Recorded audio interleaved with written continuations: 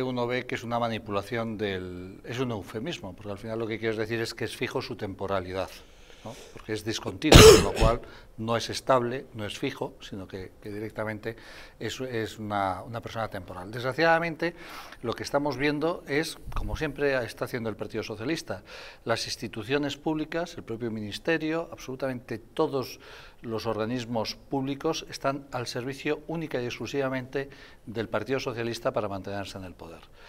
Es una desgracia porque no es realmente el, trabajar por el bien común de todos los españoles. Por otro lado, además, los datos que estaban dando el aumento del empleo público.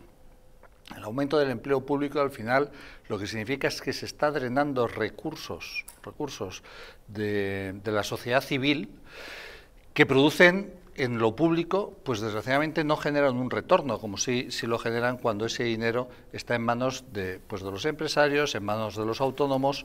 Eh, se está drenando un dinero, se está quitando unos impuestos que no están generando riqueza, sino que lo único que pretenden es generar un voto cautivo y eso, pues evidentemente, va drenando la capacidad productiva de, España.